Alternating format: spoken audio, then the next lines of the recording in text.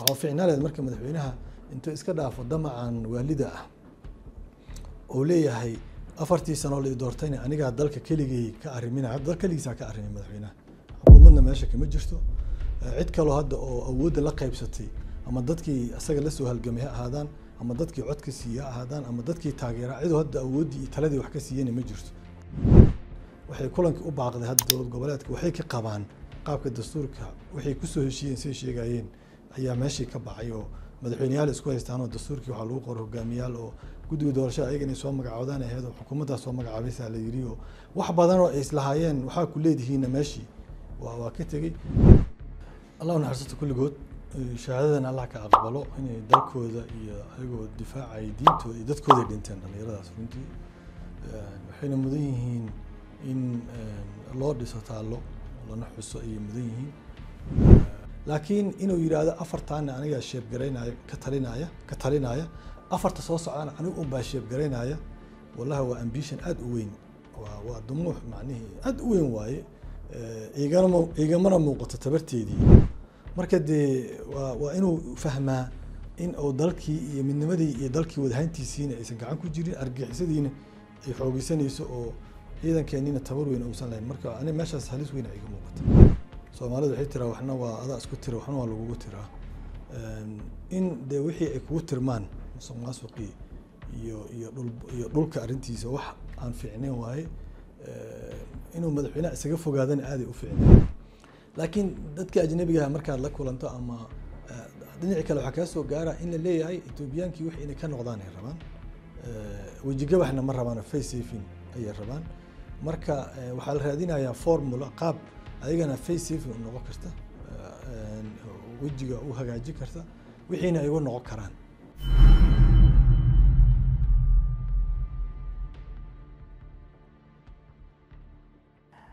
Waxaana wanaagsan daawadayaal waxaan ahay cabdijaliil cusmaan. Cabdijaliil show ayaad la socotaan. Kusoo dhawaada barnaamij gaar ah oo uu marti noogu yahay xildhibaan cabdiraxmaan cabdishakuur warsame isla markaana ah gudoomiyaha xisbiga wadajir. Xildhibaan cabdiraxmaan cabdishakuur warsame barnaamijkan waxaanu wax kaga weydiin doonaa xaaladda dalka gaar ahaan arrimaha gudaha iyo sidoo kale dagaalka lagula jiro kooxda argagixisada ah ee al-shabaab. Waxaa kale oo aanu wax ka weydiin doonaa muranka soomaaliya kala dhexeeya ethoobiya ee la xidhiira heshiiskiisa afgaradka ahaa ee ay kala saxiixdeen somalilan gobollada waqooyi ee jamhuuriyadda federaalka soomaaliya iyo sidoo kale dalka ethoobiya kowda bishii janaayo ee sanadkan aynu ku guda jirnay labada kun iyo afar iyo labaatanka.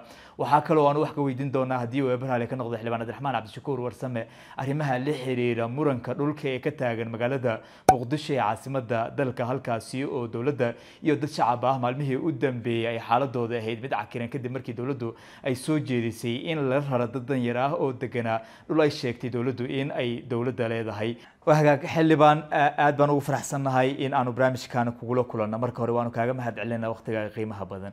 Laba sano ayaa bishan may u buuxsami doonta dowladda madaxweyne xasan sheekh maxamuud.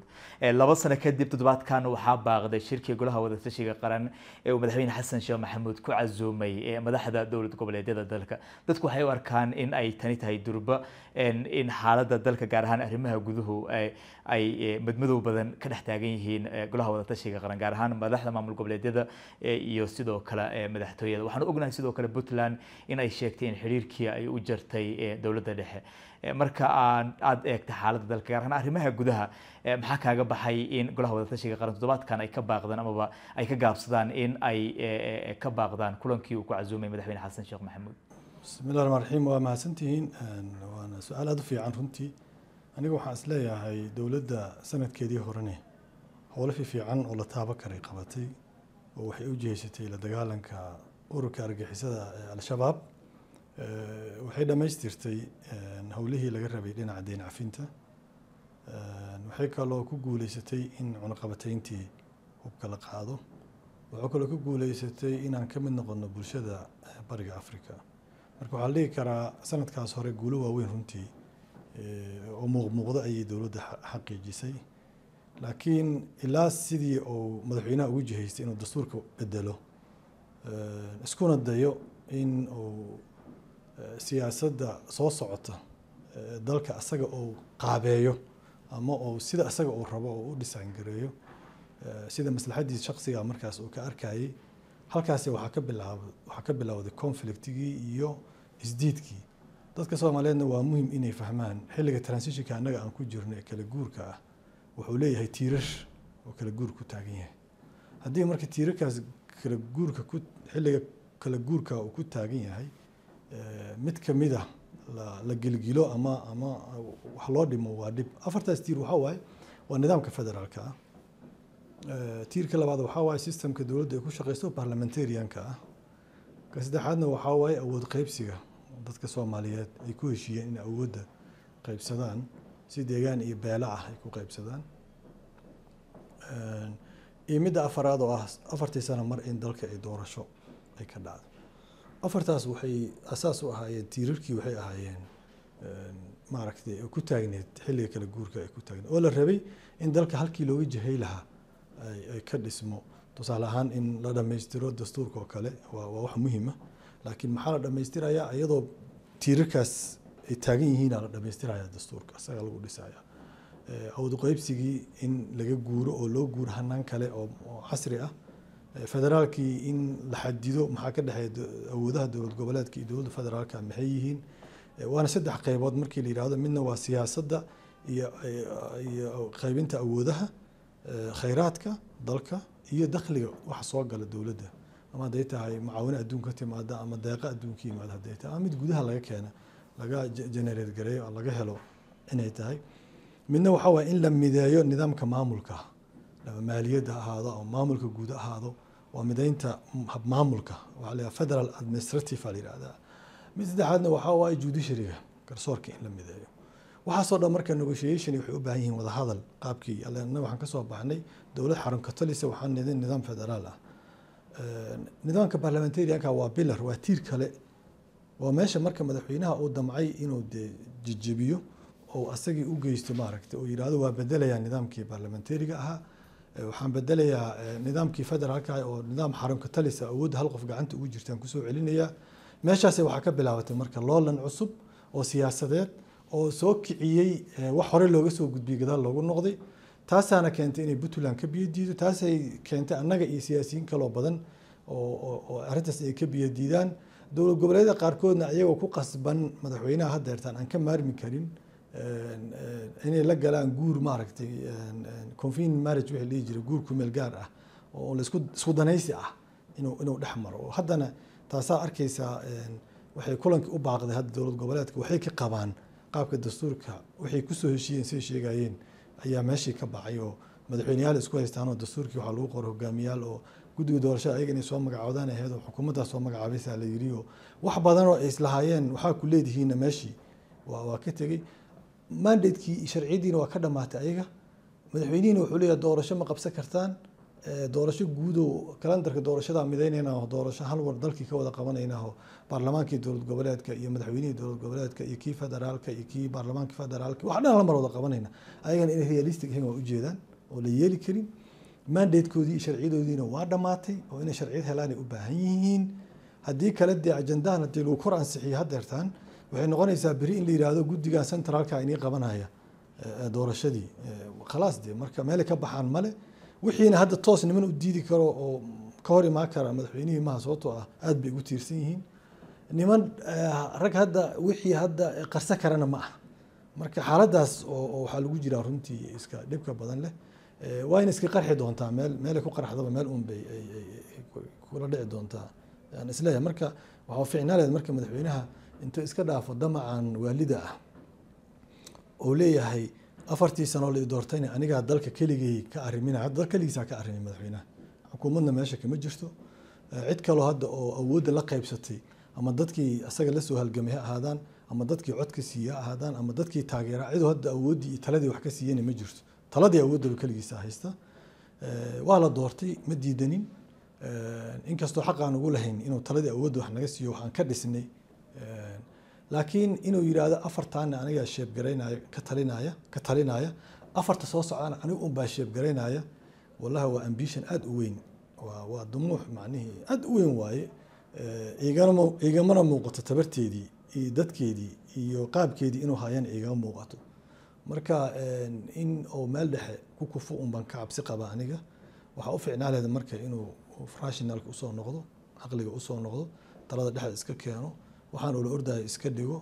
Waxaan hadda oo baarlamaanka ansixiyey uu leeyahay saana yeela saana yeela oo sidii lagu ansixiyey aan ognahay oo nooc kasta waddo kasta oo illegal ah ayaa loo maray. Habraaciyaa sharci darro ahaa habka codka loo qaadaya sharci darro ahaa.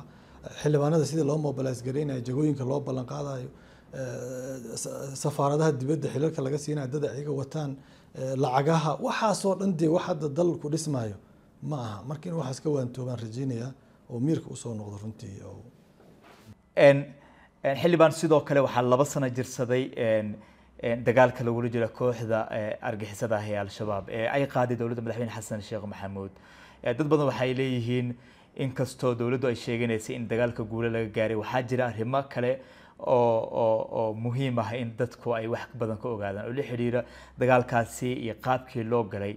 Waxaa xusid mudan oo sawirkan ka muuqda qaar ka mid ah saraakiishii dagaalkaasi markii uu bilaabanayay xilal kala duwan dowladda ka hay gaar ahaan ciidamada qalabka sida ka hay waxaa ugu dambeeyey oo dagaaladii dhacay ku geeriyooday eebaha u naxariistay taliya liibaan golcad oo ka mid ahaa saraakiisha ugu firfircoon ciidamada xoogga dalka soomaaliyeed waxaa sidoo kale jiray taliyayaal ku dhintay dagaalkaasi oo uu ka yahay gaashaanle xasan maxamed xasan cismaan waxaa sidoo kale dagaalkaasi ku dhintay oo aanu ognahay abaaduulihii ururkii sideed iyo tobanaad ee commandoska gorgor ee xoogga dalka soomaaliyeed cabdi maxamed sheekh xasan sulnug. Dhammaan saraakiishaasi dadku waxay leeyihiin waxay ku baxeen gacanta cadowga balse dadka qaar waxay dhaliilayaan istaraatiijiyada dagaalkaasi ay dowladda u wajahday oo sababtay in saraakiishan haleeyada ah ee meesha ka muuqda ay si anigu waxaan ka mid ahay dadka arrimahan aada ula murugeysan oo ula tiiraansan la tiiraanyooday. Marka bal dagaalka ay dowladda ku qaaday madaxweyne xasan sheekh maxamuud istaraatiijiyad sax ah dowladdu kama lahayd maxaase kaaga baxay dagaalkaasi saraakiisha ku geeriyootay ee ku baxday gacanta cadowga iyo guud ahaan qaabkii ay dowladda u maareysay dagaalkii lagula jiray kooxda al-shabaab.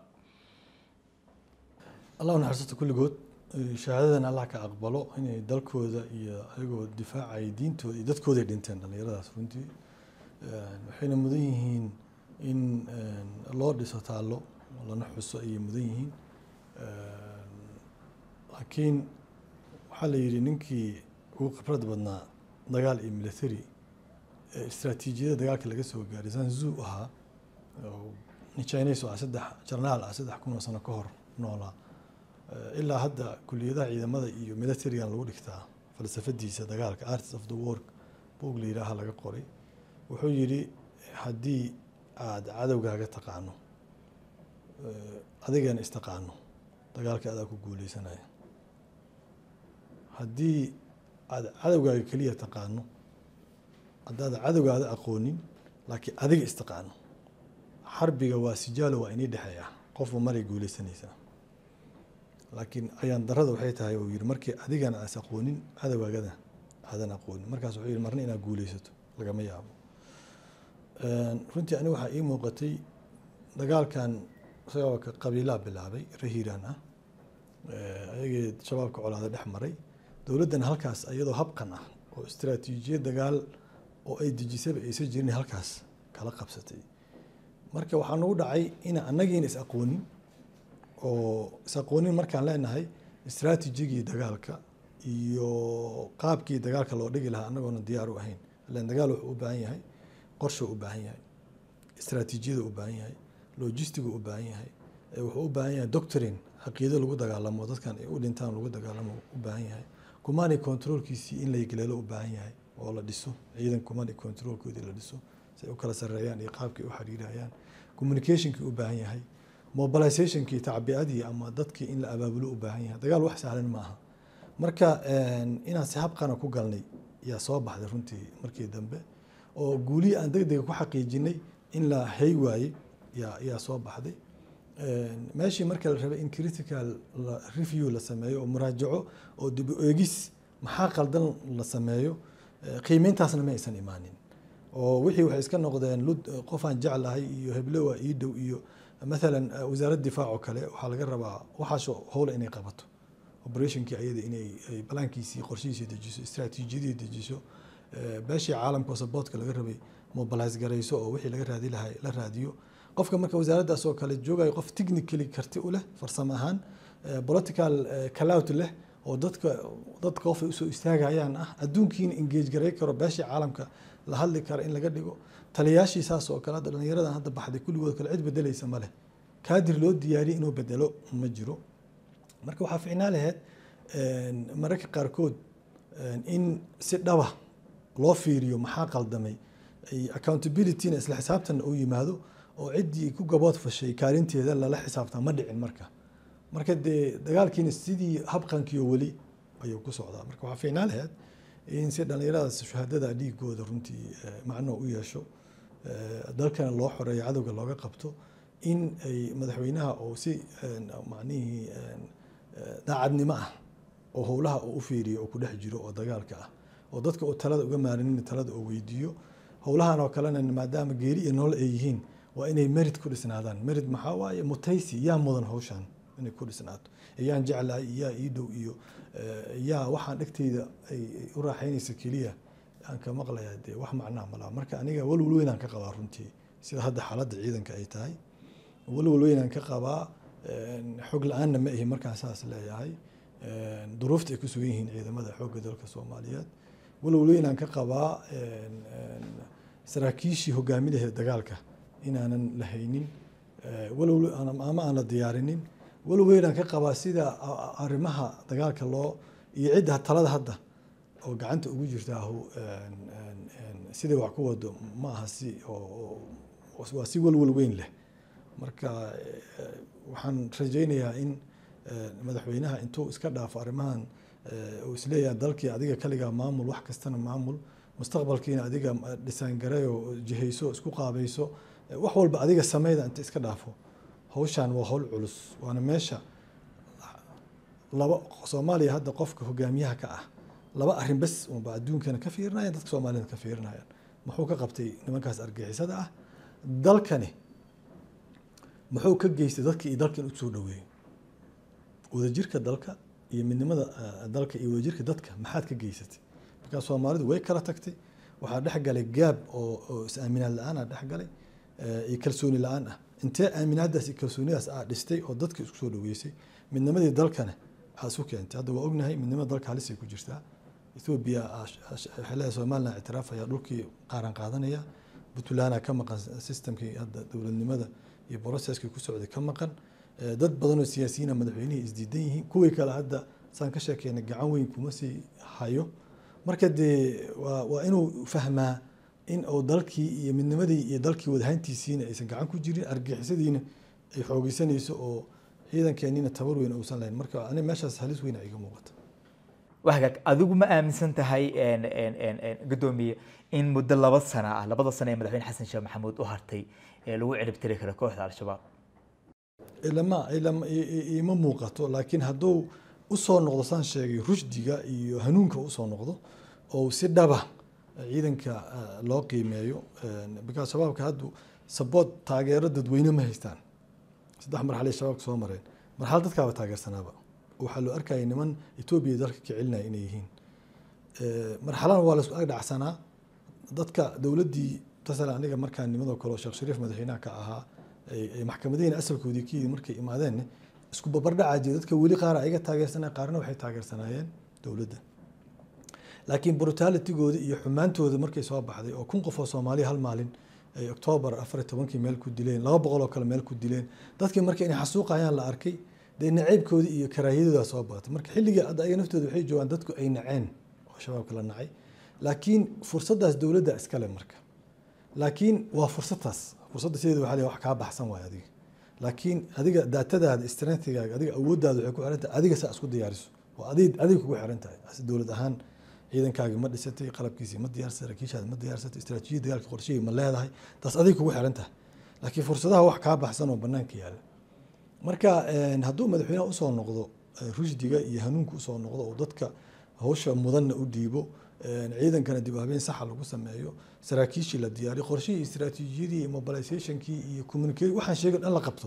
Waa laga adkaa karaa laakiin wadadaas hadda madaxweynaha ma hayo waa hagaag waxaanu soo gaarnay barnaamijkan kooban qeybihiisii dhexe mudane sagaal iyo tobankii bishan waxa aad soo qortay in aad amaba aad su'aal gelisay qaabka ay dowladda dhexe u wajahday arrimaha dhulka oo ay dowladda isku haystaan dad shacaba. Dowladduna ay leedahay dhulkan waa dhul danta guud waxa ay u baahan tahay dowladda in dib u hantido ay u wadaagto. Balse waxaad sheegtay in dadka danyarta ah markasta ay dowladdu mudan tahay in ay dhegaysato cabashadooda islamarkaana la ogaado dhulkan la iibinayay iyo halka loo wado intuba arrimaha dhulka dowladda madaxweyne xasan sheekh maxamuud waxay tahay arrimo ku soo laalaabatay haddii ay noqon lahayd dowladdii hore amaba mudaxileedkiisii hore iyo hadda uu xukunka jooga.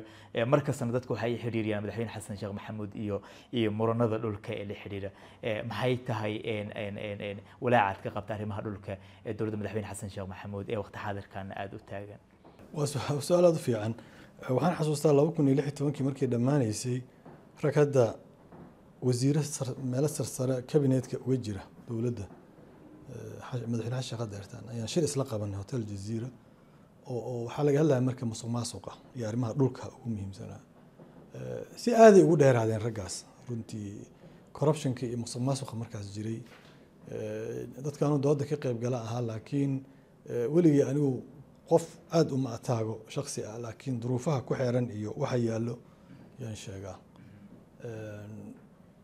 Arrinta dhulka marka iyo musuq maasuqa markaasna waa taagneed waa runtaa haddana sidii u soo noqotay marka waa waa soo laabasho kale waa mar kale soo laabanayso. Waa arrin aad iyo aad runtii u dhib badan.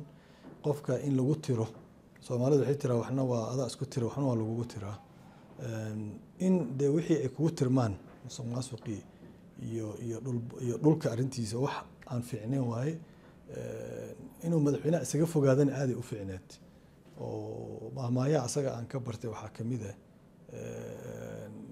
saxaro qore dheerah laysaga tiraa. Inaad iska fogeyso wixii aan aan fiicnayn waa runtii oo dadkuna ay dhaliil ka qabaan way fiicnaa lahayd dhulka fiiri dhulka hantida dowladda iska leh dowladda waa loo igmado un keliya. Dhulka shacabkaa leh. Shacabkaa laakiin waxay u igmadeen dowladda inay u maamusho. Dowladda mandateska shacabkii kala timid. Waxaa la yidhahdaa moogtahay carabahan iyo afrikaankan iyo iyo galbeedka waxyaala kala duwan yihiin waxaa ka mid ah. Xukuumadda iyo shacabka dunidan annaga aan ku nool nahay waxaa horreeya xukuumadda. Shacabkaa dambeeya xukuumadda iyo shacabkaa la yihahdaa dowladda iyo shacabka. Alxukuuma wa shacbuha government and people aa lagu leeyahy laakiin adduunka kale peoplekaa horreeya shacabkaa horreeya shacabkii xukuumaddaa la yihahdaa shacabka xukuumadda iskale waa loo igmaday. Marka sharci iyo qaanuun iyo dastuurayn dowladdu ku shaqeysaa. Waxyaalaha marka aan annaga la yaabanahay waxaa ka mid ah iyadoona policygii. Marka dhulkii waxaan yihi dowladda qaarna waa burbursan yahay qaarna dad shicibaa degan oo i d bs ah dad uun ka qaxay colaadahaasoo kale ku soo qaxay. Iyo iyo dhulka saddexaadna waxaa waaye mid la kireeyey aa jiro. Oo dowladda ay kireysay liis ay lacag ka qaadataa jira. Ma badna laakiin waa jiraa marka waxaas marka waxay u baahan yihiin sharci iyo siyaasad guud oo dadka dhan ku dabaqmaysa. Laakiin haddaad dhahdo dhulkan dowladda u baahan adiga ka bax. Ka ku dheganna aad dhahdo dowladdaa gadanaysa uma baahna. Manii midka saddexaadna ay la degan yahay oo dad kale ay degan yihiin shacaba. Shacab dhul dowlad laga soo rarayne dhul dowladadoo kale la dejiyo. Waxaasaa magaaladii ka socda. Marka see dadkii dowladdu ku aaminayan waa su'aasha. Fiiri waxaan nidhi shacabaa meel laga raray dhul kalaa la siiyey oo dowladda leedahay dhul dowladda leedahay waa laga maarmay lama rabo ganacsataa laga iibiyey dhul kaloo dowladda leedahay dowladdii rabtaa la yiri dhul kaloo dowladdii leedahay dadaa degan marka qofka intaas arkaayo oo miskiinka ah danyarta ah ma yeelaayo inuu dhulka ka bax la yidhaahdo. Weliba de waxaa ka sii daran waxaasoo dhan marka. Dadka haddii aaminsan dhulka in la gada rabaa ka sii daran. Oon shaqo dowlad lagu qabanaynin. Ammaanadaas dowladda ma haysta marka. Trustigaas ma haysato.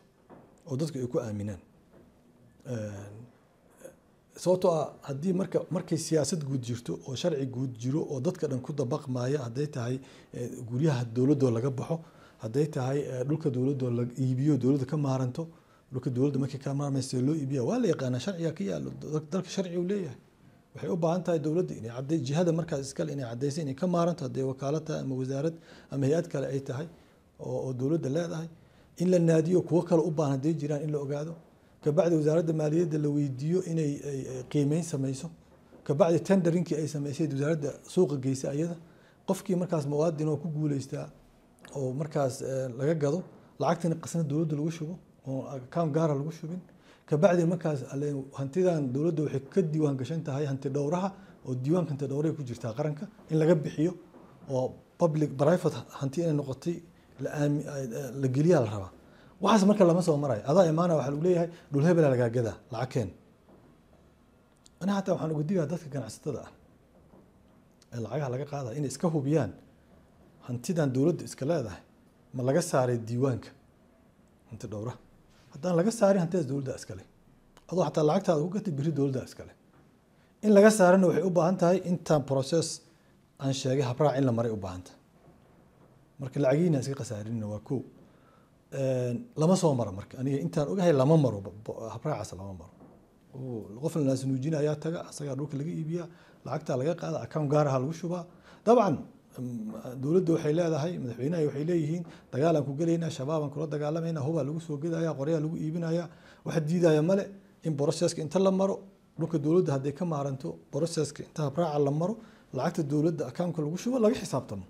Because aniga lacag account gaara ku shubata ani sababan kugu aamina ma jirto marka dee waa waxaas waa wax foolxumo ah waaye runtii dadka danyarkaane waxay kicinaysaa uun inay dadka qaar u arkaan in ayaga la taarget garaynayo oo uun keligood loo dan leeyahay oo hantidoodii dowladda ay lahayd uun ayaga la qasdayo arki karaan. Marka mana fiicna in hadda waxaas ay dowladdu ku kacdo. Dowladda dhulka ayadaa shacabka uga wakiil ah. Dhulka shacabka iskale waa ku celina laakiin ayadaa uga wakiila waxaa laga rabaa inay la timaado siyaasad dadka dhan ku dabaqmaysa sharci dadka dhan wada qabanaya iyo habraac dadka dhan ay ku qanacsan yihiin in wax waxa looga soo celiyo hantidii dowladda. Laakiin dad xildhibaanaha ama siyaasiyiin ah dhowlo ay ka ganacsanayaan ma fiicna runtii in in in wixii laga dhiga ma fiicna. Dowladda iyo shacabkana in laiska hor keeno ayadana ma fiicna waa hagaag xildhibaan sidoo kale waxaanu tagi doonaa arrimaha dibadda iyo sidoo kale geeska africa markaan intaas kaga soo baxna arrimaha gudaha ee dalka. Laba tobankii abriil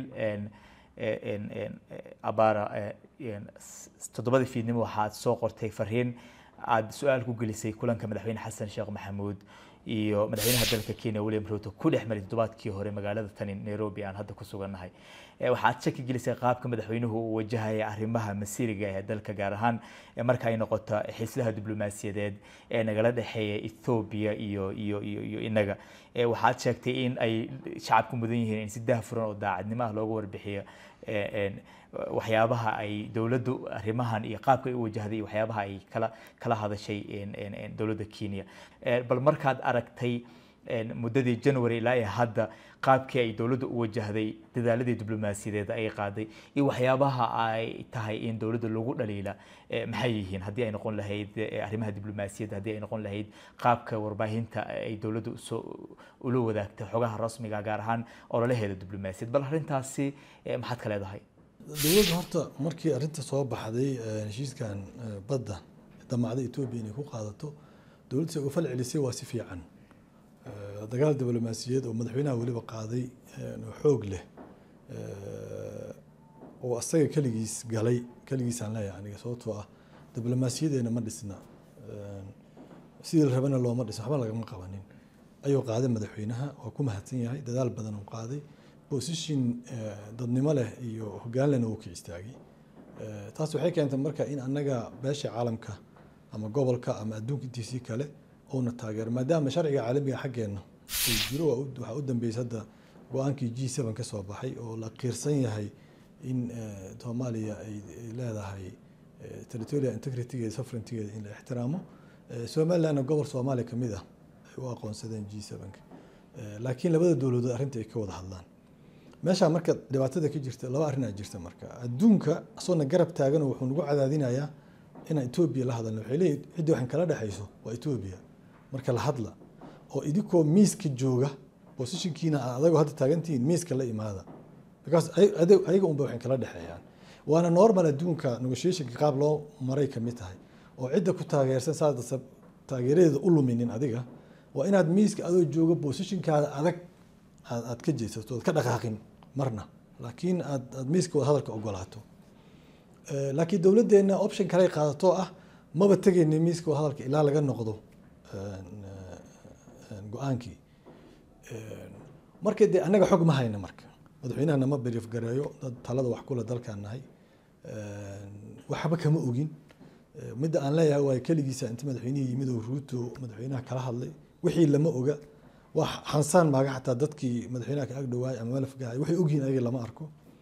Laakiin dadkii soomaaliya waxaa loo sheegaya in laga wada hadlay la dagaalanka al-shabaab iyo amniga iyo ma laga hadal amni iyo shabaab amni shabaab haddii laga hadlay saan sheegay waxaa la soco lahaa wasiiradii iyo ciddii wax la qarinayo maha taas laakiin madaxweynaha dee one on one meeting markii la galo oo safiirkii xataa banaanka la joojiyo waa garan kartaa marka waxaa meesha ku jira. Een, nin hilaab xuna soomaaliya waxaa tira inuu wax qarsanayaa la moodaa. Marka in waxaa transparenty laga dhigo ay ku fiicnaa lahayd. Dadkana lala wadaago wax laga wada hadlay iyo optionka miiska saaran. Laakiin dadka ajnabiga ah markaad la kulanto ama dhinaci kale waxaa kaa soo gaara in la leeyahay etoobiyaankii wix inay ka noqdaan ay rabaan. Wejigabaxna ma rabaan face ayay rabaan. Marka waxaa la raadinayaa formula qaab ayagana face u noqon karta. Wejiga u hagaajin karta wixiina ay uga noqon karaan. Annaga saasaan maqlayna laakiin dowladdeenna ma hayno accountkeeda dadkiina uma sheegin. Dadkii dee xalliga caqdiga kaga dhawaayna ama inay talada wax kuleeyihin isbidaayana uma sheegin saas daraaddeed marka speculation aan ku noolnahay wixii kutirkuteen saasaa la yiri keliyaan. Marka dowladdu waxaa u fiican in ay positionkeeda si had markii horeba clear uga dhigto haddana uga dhigto uga dhigto laakiin waxa behind the scene ka socda daaha gadaashiisa inay dadka ay ay- hadday dadka dhan publica xataa la wadaagi karin dadkii dee arrinta wax ka difaacayay ama qeybta ka ahaa inay la wadaagtaa u fiicnaa lahayd. Si aan loo malaynin xanta banaanka baxaysa aan aan loo rumaysanin Eh, midna waa jirtaa taageerada beesha caalamkana taageersantaha haddeertaan een, waana sheegay. Arrintaasna muhiim waaye foreign policyga sidiisaba saddex arrin uu dowladda mar ay ku hirgeli kartaa. Waa inay dhaqaale aad leedahay. Horta military awood ciidan inaad leedahay. Wax ku dhacsan karto. Dhaqaale inaad leedahay. Awood dhaqaale. Dowladan khaliijka hadda ciidan maha laakiin awood dhaqaale leeyihiin. Inaad wax ku saameyn karto.